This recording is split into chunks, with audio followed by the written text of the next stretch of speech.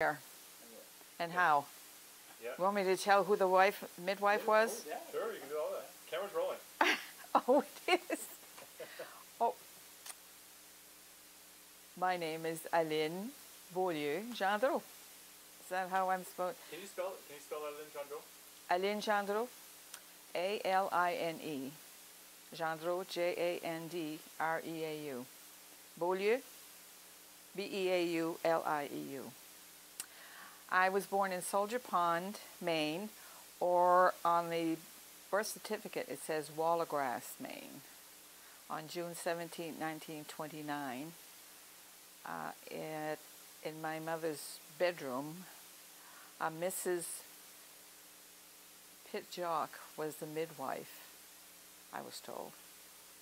Okay, I'm gonna stop tape right now. There's something I see. Okay, camera is speeding How I was born? Yeah, you said you were born. Just start from scratch. Start from the beginning. Start from scratch? Yeah. Like what my name is in Yeah. the whole nine yards? My name is Aline Beaulieu Gendreau. And I was born in Soldier Pond, Maine. At that time, I believe it's registered as Wallagrass, Maine, uh, in my parents' bedroom. And in attendance was a Mrs. Peter Jacques. She was a midwife. and it, it was on June 17, 1929. I don't know the time or the day, it was never told.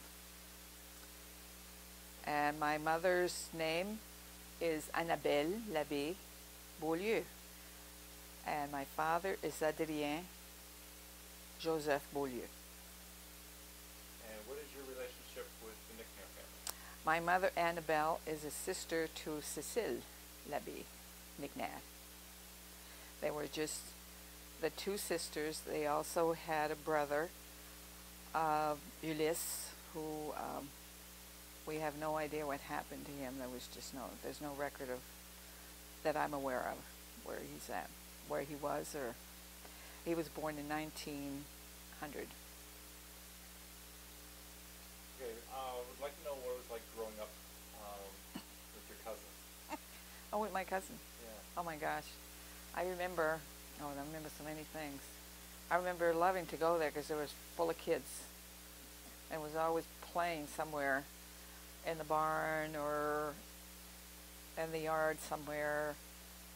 And especially in the schoolyard, there was always something happening in there. And I remember going there on the train because my father worked for the railroad as well as Mononc. So we had free access to the rail to the train. So they put me on the train at night.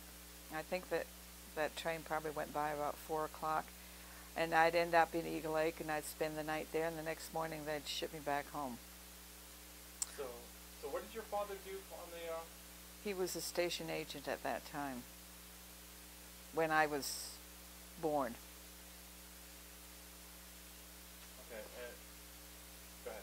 And my mother my mother was postmaster. She became postmaster in 1927 that was the year my brother was born. My brother was born in january and she took post the post office there in november 1927 Okay, now who were your your the cousins that you hung out with the most? oh well it was Mary Paul and jackie. I remember mostly it was mostly Mary Paul, i think because when she would come home I remember we- eh, we'd go to bed at night and we had to tell each other stories. It was made up things we'd tell. And eventually we'd fall asleep on these stories we would be telling each other. I remember that vividly. Being in bed together and telling stories. Wild stories about I don't know. What were your early school years like here in Soldier Pond, and how did you find the Bucknell? Well, in Soldier Pond, I, I don't remember much. I remember going into that school. The school, it was a big building. It had two floors. And I remember Miss Jacques was one of the teachers there. And, uh, oh, I remember she had a boyfriend. Uh, what was his, I forgot his name, uh, Bouchard, Jerry Bouchard. And when we played uh, Madame, Madame Madame, you know, the played house or whatever, uh, there was always someone that was going to be Ladette Jacques and the oth- Miss Jacques, or the other one was going to be Jerry, because he was a handsome thing, and he hung around the school quite a bit, I think. And I don't know if I don't think I did more than one year there. Then I went to convent at Sainte-Agathe for the first grade. Now, you didn't become a nun, so what did you think about um, Mary Paul becoming a nun? Oh, well, that was okay. I mean, that, she was non material. She was, I mean, what I knew of her, not growing up as kids, no. Never in that, I never experienced that or I never saw that in her. But when we went to Sabattus, I could see it in her. That was her last year. Uh, as she was a senior the year I went in as a junior. And she definitely was, well, she was a nice girl. I'd like to hear about your experiences with the nuns in Santa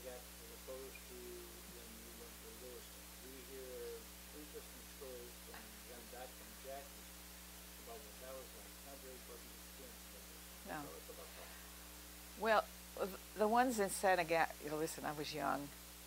And I remember, that's one thing I remember, my father was the one that took me to school.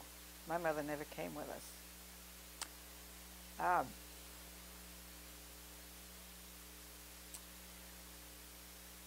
because of that. Anyway, the first time I went there, I had a carriage and a doll.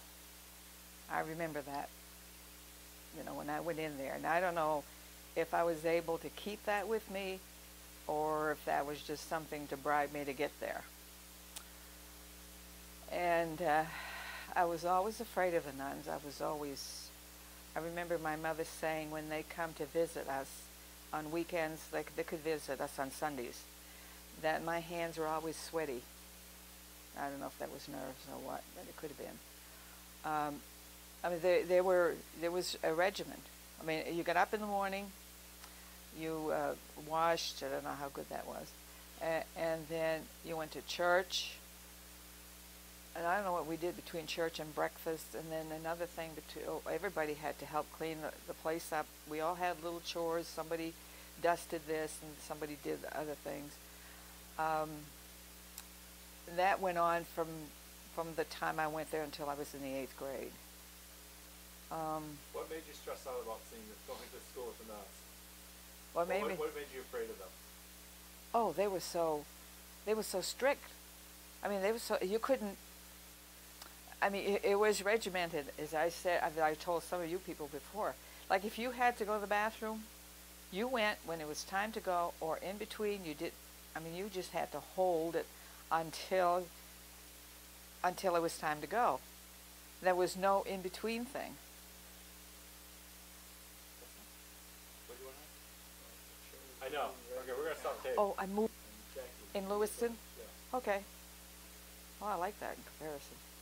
Am I back on? You're back on. Okay. Well, um, and in Sainte-Agathe, uh, what I experienced more was that the nuns had their favorites. And that was usually the people, the children whose parents had money. And especially in town in Sainte-Agathe, there was, a couple of girls that my age that parents had stores.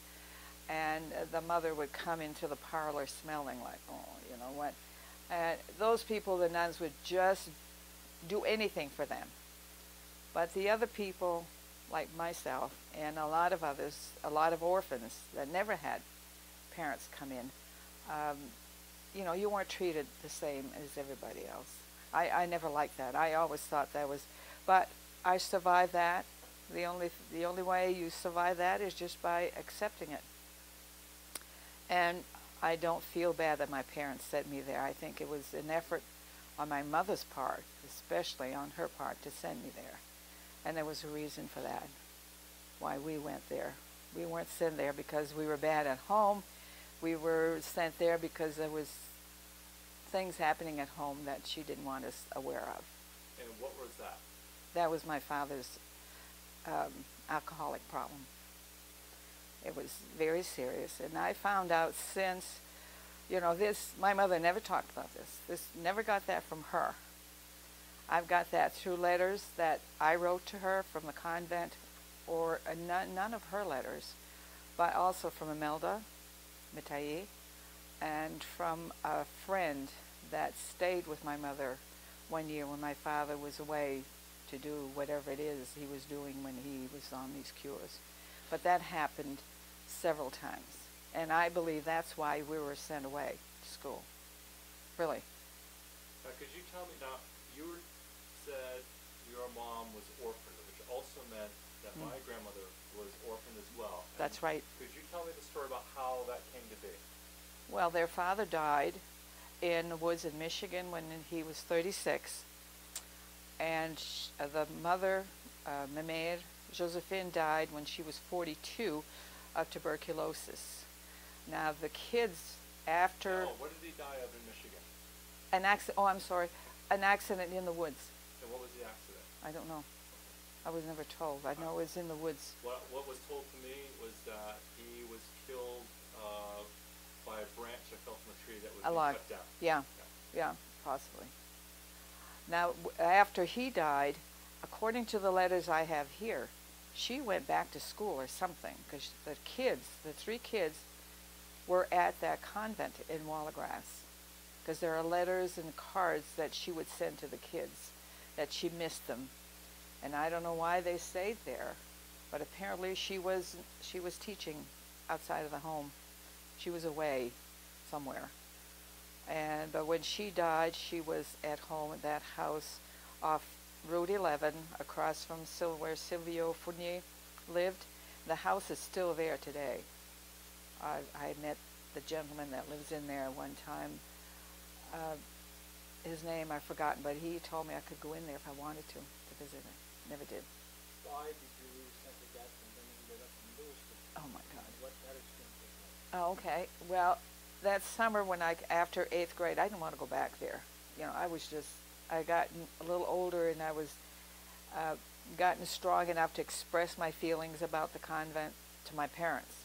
Before that, you never said I don't want to go there.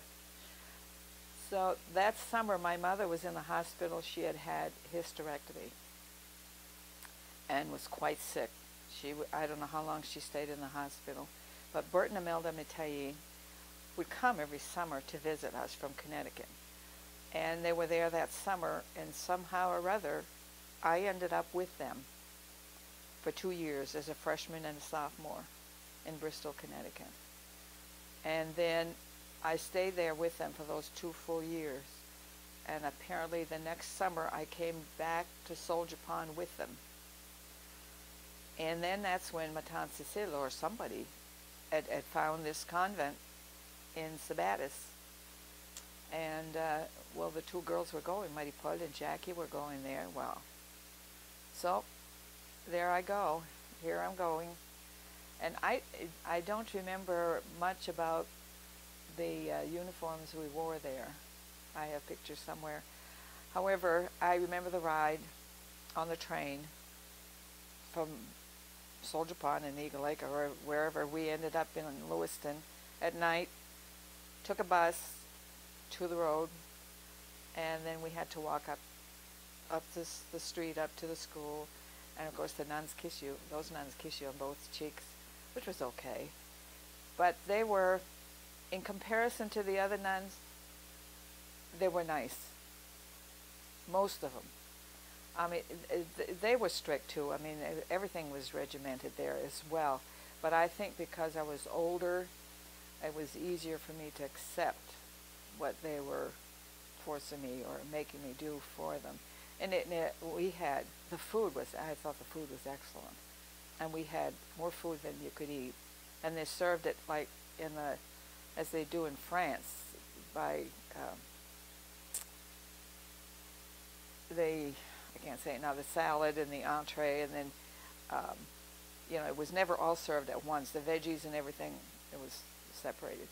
But and then on weekends the only three people left there was Mary Paul, Jackie, and I. The rest of them all went home on weekends. And that and that was kind of fun because then the, the younger nuns would play hide and seek with us in the barn. Now, I don't know if your sisters have said that, but I, I remember that. I remember playing in the barn with, there was one young nun, she had a tooth missing in the front here, but she was she was fun. I think she was my um, shorthand teacher. I can't remember her name, but anyway. Um, and then, if we had permission from our parents, we could go downtown. We could go to Lewiston on Saturday, and we always had some money because our parents always made sure we had the nuns had some money for us to spend. And I remember we used to go to Sam's Sandwich Shop and buy um, a sub, a subway. Well, it's Subway today, but a sandwich, a big sandwich for a dollar, and we'd bring that back and hide that under our beds. That smells so good compared to them. But I, I, um, I don't have any misgivings about the nuns there. I know I had a hard time with my French because I wasn't, uh, and I think I had a hard time. That's another thing too that nobody ever found out about me is that I, I think I'm dyslexic. Dyslexic. I can't even say the word. See. Reading. That was another thing. The nuns. If you didn't read fluently and beautifully, I mean, you probably read two sentences and then, okay, the next gal, and she probably read the whole chapter. I was never able to read comfortably in front of a class. I always had a hard time there. Can you describe what it was like to go to the Nicknair family Lake? And some of us recall your father being a storyteller, Mm. playing the violin, did he? Yes, he played the violin and he played the saxophone, and he he's one of those that would do recitations. I mean, he was had a good brain, nice brain, uh, memory, and he would recite all these poems or what have you, uh, to sing. He had a beautiful voice. I remember he used to sing um, "O Holy Night" at midnight at midnight mass. I mean, that was always special to me. Um, and he played the violin. Um, you know, he was a very smart man, and it's it's sad that he uh, had to let that um, go by the by the wayside. Now, what did he do for them? He was station agent Okay. For the was- railroad. This was okay. for the railroad. Trying to make sure that. Yep. And my mother was postmaster for 40 years. I mean, she took that in 1927, and I think she retired in 68.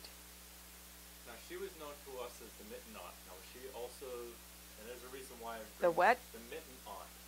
Oh, the mitten aunt. Oh, she used to make mittens. Yeah. Oh, well, yes. And your mother did too. I mean, your mother, your grandmother. Uh, Matanza Sid, I remember going there. Matanza Sid would be talking. Well, they always talked about it. And she would be making, uh, you know, like when you make a, sto- a, so- a stocking and when you round out the heel. She could do that talking a mile a minute without even batting an eyelash and not even looking at it. I was always amazed at that, how they did that. But I, I don't remember my mother doing stockings, but I remember her doing mittens, yes. There are a number of stories at my house about your mother, how one a great talker she was, and a card player, and Oh. a jokester, and sometimes played with my father, and they Yes. had little shady deals. going Yes, they on. did. And you know your mother did too? Can we hear? Can I hear about this? Well, you're, well, my mother was, my mother's Charlemagne, and you know, they would knock on the ta- on the table, and that meant they had a card for them to come back to. And Matanza Sid, of course, was always very quiet and very holy, you know, like she wouldn't cheat. I played with her once, and I know she did, because my mother had cheated the game before, and that second, I, um, and I know it wasn't intentional, because she was winking at me, and that was so funny, because my mother never caught on. She was too busy doing her thing. Well, yes, and she used to love to play with your Uncle Frank. Was it Frank? Yeah, because he was just like her. And so's Harold's dad. I mean, when he came up, and if she was around, they would play together and, and cheat. I mean, cheat like fun cheat. You know, they were they weren't doing it for money. What was this about shady deals? Well, the cheating. Oh, I- the I cheating, didn't, I didn't, I didn't want to use the word at that time. Well, they, they were kind of They were, they were having fun. Now, my, my mother was a type that uh, liked to have fun and to laugh, and I th- I think she had she needed to. Uh, she did, and I think um, when she got to be alone, she did a lot of that. I mean, you know, she uh, she could relax. She was more relaxed. Did your family ever go on picnics at the lake with the, with the family? Oh yes. We recall a lot of picnics in our family, uh, Yeah. a big canoe. And that big boat, I remember once being caught on the lake in that big boat. Well, I was sitting right in the bottom somewhere. It was, it must have been an army of us in that boat. Probably only took four people. There was probably 24. And there was a motor on that, I think. And I remember it was a storm coming or it was very rough. And that's all I remember. But I do remember we used to go on the side of the lake on picnics. And I used to love to go there because, and then upstairs, you know, that there was that big upstairs room where the boys used to sleep. We used to play there, do something there, because we were never allowed in the living room with the old people, because you know they had to talk about nice other things. And I remember we used to play in the kitchen. And your mother, um, my aunt always had I, umpteen loaves of bread on the sink. They'd just been brought out uh, on the counter. They'd just been brought out of the oven. Can you imagine? I don't know what we did if we ate them or do you remember? Did we eat them? We must have eaten it. I'd like to know, uh, hear about stories of you and your brother, because Dan now is also close to some members of our family, and if you had any special relationships with other members of the family in later years. In later years, well, you know, we, we all sort of grew apart. I mean, after I got married, I moved away, and you know, you're busy bringing up a family and visiting my. I was visiting my mother on weekends because she was alone then. Um, I remember Armando coming to our house once with um, his wife. I remember they were sitting on the couch, and they didn't have any children with them.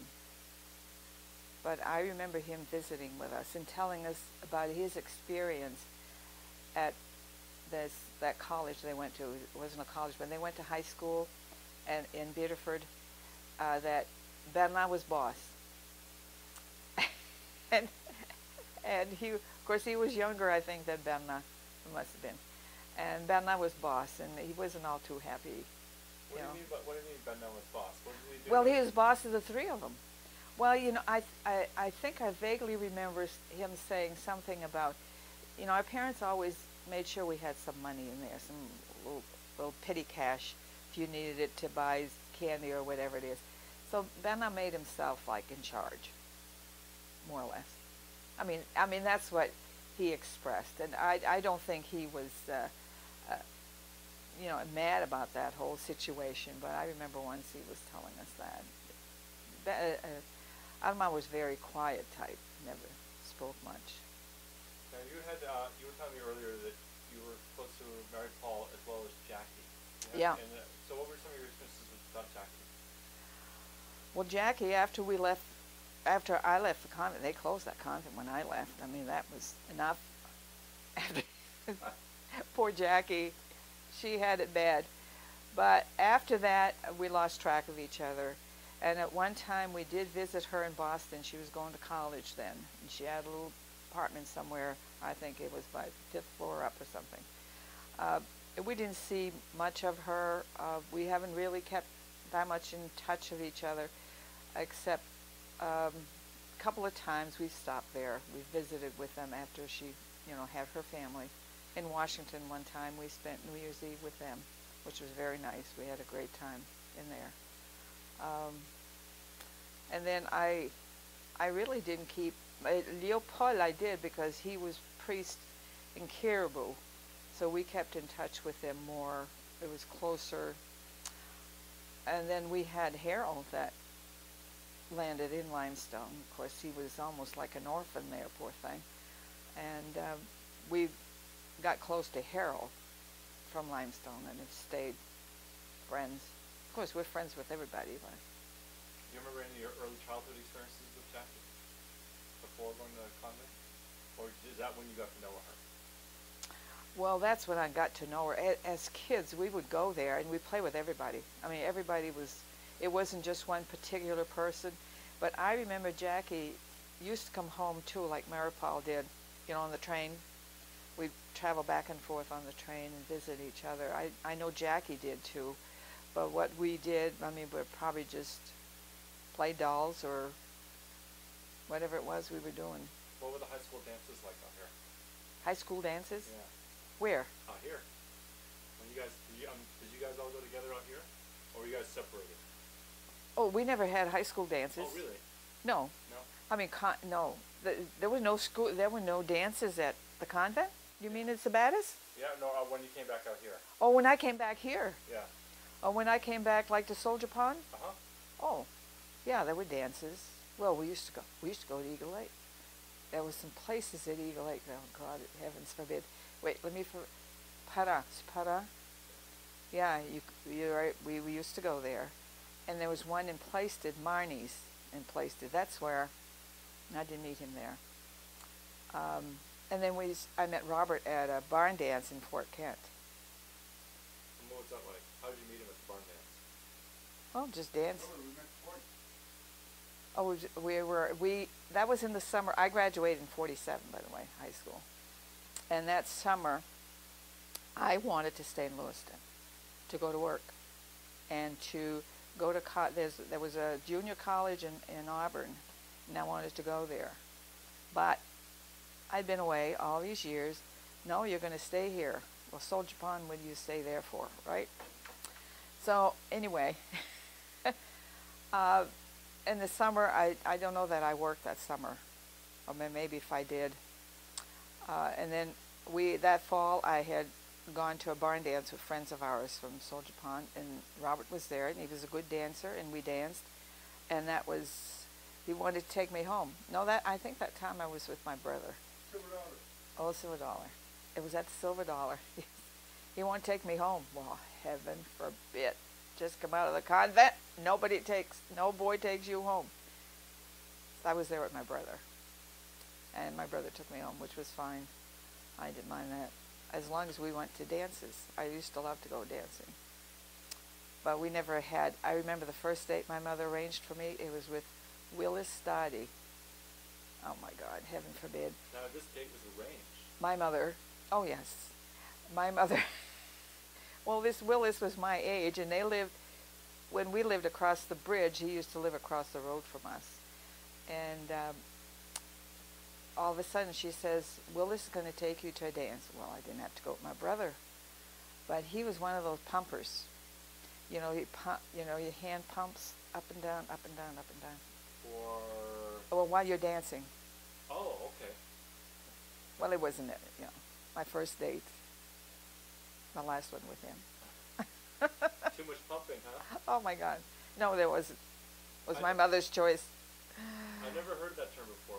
That's Well, he, he goes like this, Yeah. you know. Oh, oh my God. Uh, Show me that again. Someone being a pumper. okay. Oh, And I'm heavens. assuming swing dancing was the scene then, right? Oh yes. Now my brother played the piano. Well, he played the piano like nobody's business. I mean, he was he was a natural. And uh, sometimes on Sundays when my parents were gone, we'd round up some girls. Never boys. Boys never danced then. And we'd jitterbug on the living room floor on you know linoleum. We would jitterbug, but never with boys because there's no boys in Soldier Pond that danced, except for the pumper. we, we never invited him. no. Over the years, and especially in later years, we, our family feels that you're really part of our family, Oh, I know it. It's nice. and we'd want to like to hear your side of that. Well, I feel I feel grateful that you do, really. Um, because I have no family. Except with us. which is good. Well, I shouldn't say I have no family. I have a husband and three children and grandkids, but uh, no siblings. Um, I'm gonna stop the tape for a second. Yeah. Oh, yeah, but this is a Nicknair thing, It doesn't matter. It's okay. All right, tell us the story. Uh, okay. Well, we anyway, in the summer we used to go to we used to go to dances. And this time we had gone. This is the time I, I went to the barn dance. Okay, the second time I met Robert at the barn dance. So this time, well, second time I meet him, maybe it was a year later, and there were three of us girls from Soldier Pond. I had I always had my father's car, and after the dance, Robert said, "Why don't you come out to eat with us?" And Claire, well, I said, "I can't do that." Because one of the girlfriends we I had with me, we had dropped at the corner of Route 11 because her boyfriend, who the mother detested, was picking her up there. And he was going to bring her back there at a certain time. Uh, he was going to bring her back in Fort Kent now, in front of the bowling alley, after a certain time to meet us. Okay. Well, anyway, when Robert asked that, and then they wanted to take our, my other friend, Dora Jean, I couldn't name them, Dora Jean. So Dora Jean and I decided, okay, we're going to Claire with these two guys. They were going to buy us lunch. The heck. So we went. But then when we come back, of course you're young and you're crazy, and come back to the car, my, the car was parked in front of the bowling alley where this other Jean's sister was supposed to meet us after the dance. And it was, I, I think, a couple hours later, then we were supposed to be there, and she was panicking in the back seat of that car. She was scared right to death that we wouldn't be coming back to the car. She was afraid her mother would find out where she had been. But she didn't. We took her home. We used to do that all the time with those two. Because the mother did not like her boyfriend, and we take her to the, to the road, to the end of the road. That was nice. She never married him, by the way. Married another guy. oh, bad things we did. All, all bad things? Like what bad things? No, we didn't do bad things. no, we really didn't. We didn't know what bad was. Well, what did you think was the baddest thing you ever did? Oh, racing down, um, racing uh, on the road to what road is that? Going from uh, the Sporting Club to Frenchville, between Sporting, Sporting Club and Frenchville. We'd been to a dance at Sporting Club, and there was this girlfriend of mine, Pelletier. They had a big farmhouse up there, and we'd always gather there because they had a big piano, and we'd dance and sing, and never drank. Nobody ever drank, and nobody ever smoked. But we would just go there. And that night there was some boys coming, following us, and they wanted to pass. And they didn't pass. I stayed ahead of them. That was scary. I think of that today. My kids did that. I don't know what I'd do to them. You know, little things like this. What else did we do that were wrong? I mean, of course, the nuns sent, sent us to confession every Saturday. Oh, that was that was. I mean, talk about being depressed or whatever. You'd have to go tell your sins, okay? You have to remember how many times. And if you forgot one, that was a sin if you forgot one. And then you w- you go into that confessional, and that priest would reek of smoke, you know, like cigar smoke. And and there you are. You've got your five fingers, and you're holding one, and you're so nervous about telling this, and then you're thinking, oh my God, five times. Maybe I did it six times. I'm not sure. Well, I'm going to say five.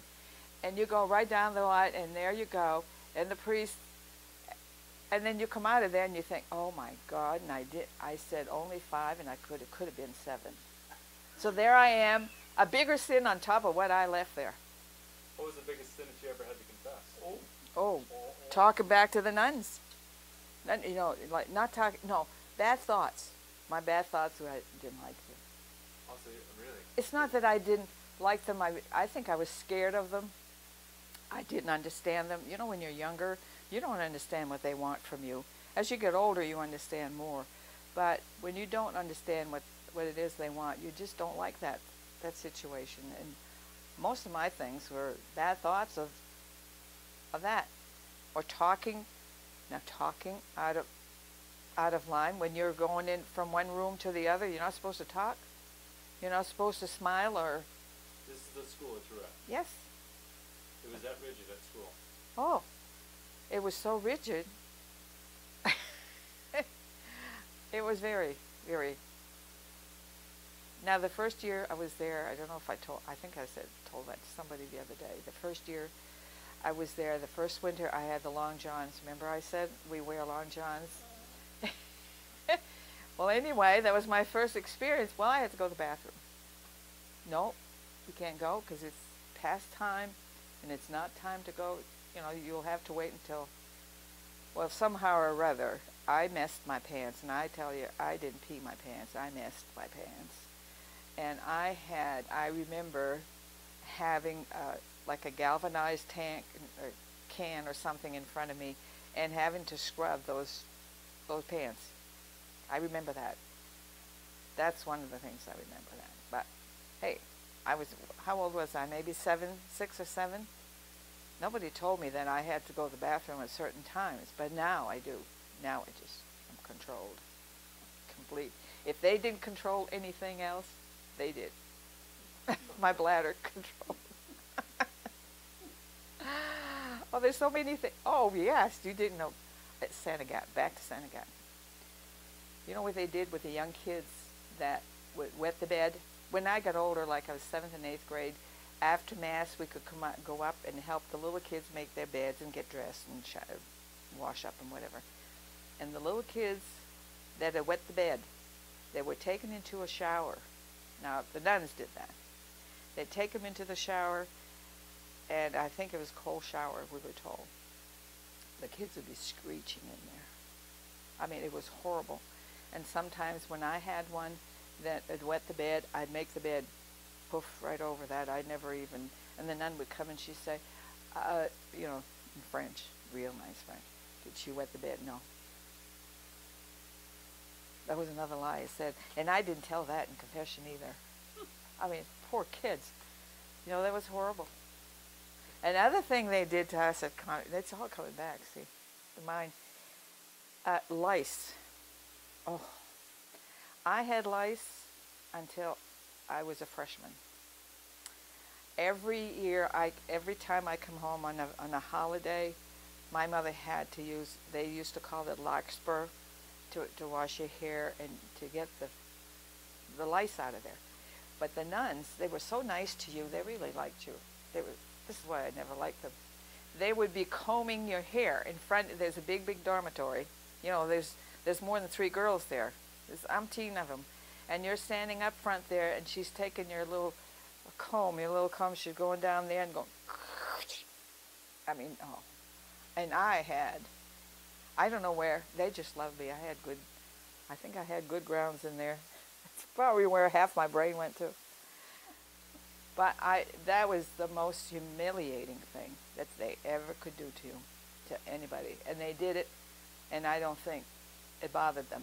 One, I think they liked the idea that there you were, you know, with lice in your hair.